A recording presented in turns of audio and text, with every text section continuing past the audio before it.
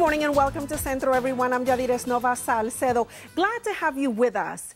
Immigration, deportations, and the temporary protected status, TPS, continue to be some of the hottest topics of debate at a national level, and this is also the case here at a local level where different marches and activities have been taking place lately in support of the TPS campaign. Now, because there's a lot of confusion out there regarding TPS, we've decided to do this segment to shed some light on this important topic. To help us do that, with us this morning is Patricia Montes, Executive Director of the nonprofit organization Centro Presente. Good morning, Patricia. Good morning, Yadira. Thank you Thank you so me. much for being here. Thank you for having me. So you're going to help us dissect everything that's going on. There's a lot of confusion out there, Patricia, regarding TPS. Start with telling us about TPS. What is TPS? Thank you, Yadira. Definitely, uh, what the temporary protected status (TPS) is is a form of immigration status that provides uh, people that are protected under that program a work permit to work in the United States in a legal way,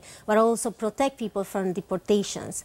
And according to official data, there are more than 300,000 people from El Salvador, Honduras, Nicaragua, and Haiti that are now protected under the temporary protected status (TPS). And we are afraid that they are going to um, you know, uh, basically um, don't renew the TPS for all these people that are So the fear protected. is that the TPS would not be renewed.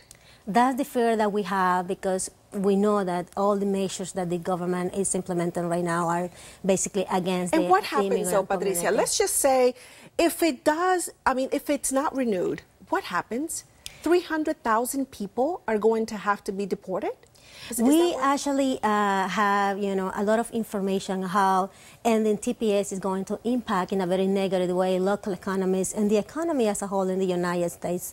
Yadires, according to a recent study, the U.S. economy is going to lose more than $6.9 billion $6.9 in, billion in contributions to um, uh, Social Security and Medicare from these people that have been living in the U.S. Okay. for the past 20 years. They, they pay taxes and they contribute in multiple ways to the you know, well-being of the U.S. So think about it. If they detain and deport 300,000 people that are now protected under TPS, Yes. it's going to cost more than 3.1 billion U.S. dollars to the U.S. economy. Wow. So, okay. So, talk to us about these marches that you've been having and talk to us about this campaign. So, this is like a brand new campaign that you guys started to do about this to bring more awareness about what is TPS and why they should renew it.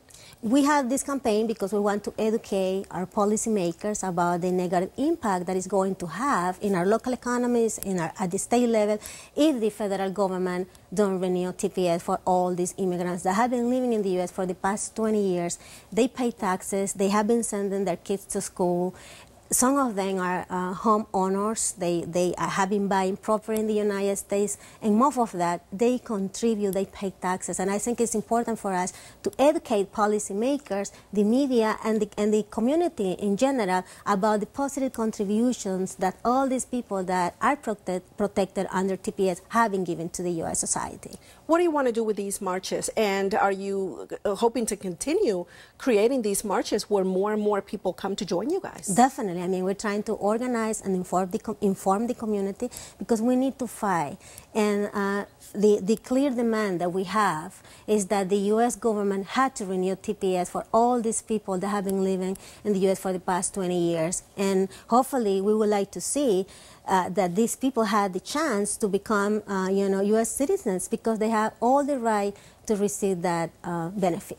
if they can show obviously that they've been you know they have kids and that they have good jobs and that they've been sort of giving back right Definitely, To- for to more than 20 years, I think that we have clear information on how they have been contributing to the well-being and progress of the United States. Okay, so really quickly, you passed two uh, two resolutions have been passed, and that's because of you know part of it because of your work that Centro Presente does. Talk to us about We that. were able to pass two uh, municipal resolutions in the city of Cambridge and the city of Somerville in support of TPS.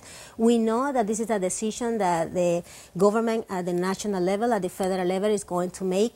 However, it is important for us to educate policymakers at the local level because it is important to send a very strong message to Washington and say that these people are also part of, of our communities. They are living in our cities and they are paying taxes again. People say that undocumented people don't pay taxes. We do pay taxes, we contribute, we go to school, and we are part of this society. I want to thank you so much for coming by, telling us about TPS, clarifying a lot of things for us, a lot of confusion out there. Thank you so much for coming by, Patricia. Thank you for having me. Okay. For more information about the TPS campaign, you can call Centro Presente at 857-256-2981 to get a direct link to their website and their Facebook page. You can visit us online at cbsboston.com slash centro and like every week, we want to remind you that you can get more information on today's show and our past shows. You can watch both the English and the Spanish versions of our show on our website. If you have time, visit us right now. If not, come back later for more of Centro. We also want to invite you to connect with us online.